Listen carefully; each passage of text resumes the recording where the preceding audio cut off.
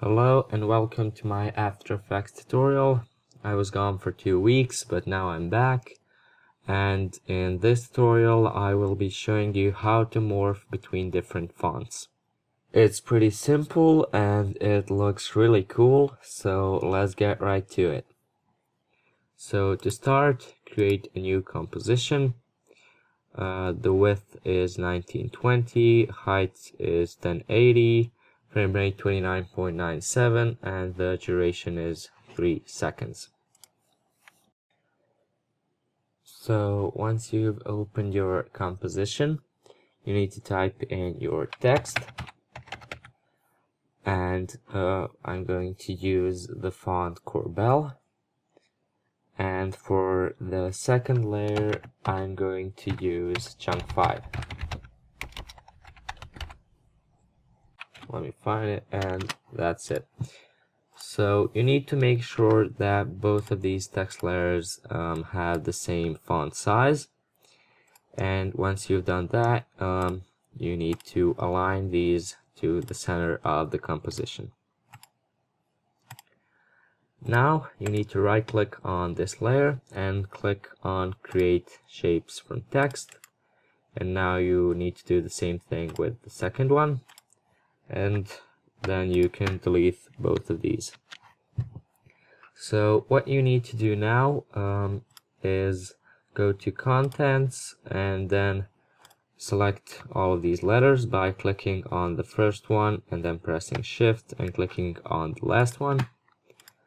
Um, then you need to click on this, click on the path, uh, press Ctrl A and then create a keyframe and that will create a keyframe for all these letters. And now uh, press U and now we can see only the keyframes.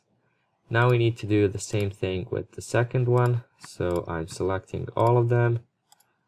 Then I'm going to press Ctrl A and then I'm going to create a keyframe and then I'm going to press U to see only the keyframes so now you need to select all of these, press Ctrl C, and then click on this path, uh, move 10 or 20 frames by pressing Shift and page down, and then you can need to select all of these paths, I'm sorry, and then you can press Ctrl V to paste the keyframes. So now you can delete the first layer and let's see what we made. So this looks pretty bad and now I'm going to show you how to make this look better. What you need to do is you need to click on the first path and you need to figure out um, which point will be in the same place on both of these fonts. So for T I'm going to use this point, I'm going to select it and then uh, go to mask and shape path and set first vertex. Then I'm going to the next keyframe and I'm going to click on this point and then go to mask and shape path set first vertex. And now that looks good. Um, now we need to do the same thing for all these other letters so I'm going to go to the first keyframe, I'm going to select the E, and I'm going to try with this point. So I'm going to click on set first vertex, and then I'm going to go right here and do the same thing. And the E is looking better. Now I'm going to take this X I'm going to use um, this point. So right click and then set first vertex. Then I'm going to go to the first keyframe and I'm going to click on this point. Mask and shape path set first vertex. And as you can see it's looking better. And now on the T we already know which point to use. It's this one. So I'm going to set the first vertex and this animation will look better. Let's see what we made.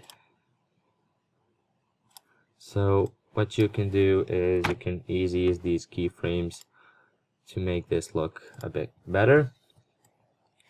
And another thing that you have to pay attention to is when you have letters like B, um, when you create shapes from text, um, you will have uh, multiple paths and you need to make sure that uh, when you paste your keyframes that you don't paste the inner path into the outer path because that will look very bad. So that's it. There's a project file download link in the description. Um, I hope you liked the tutorial. Please subscribe and check out my channel and thank you for watching.